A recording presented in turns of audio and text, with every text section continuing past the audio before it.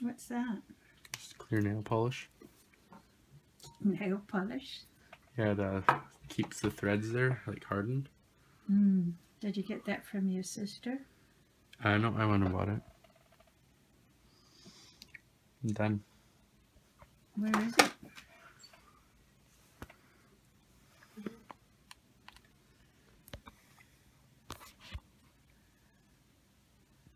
That's it. Um.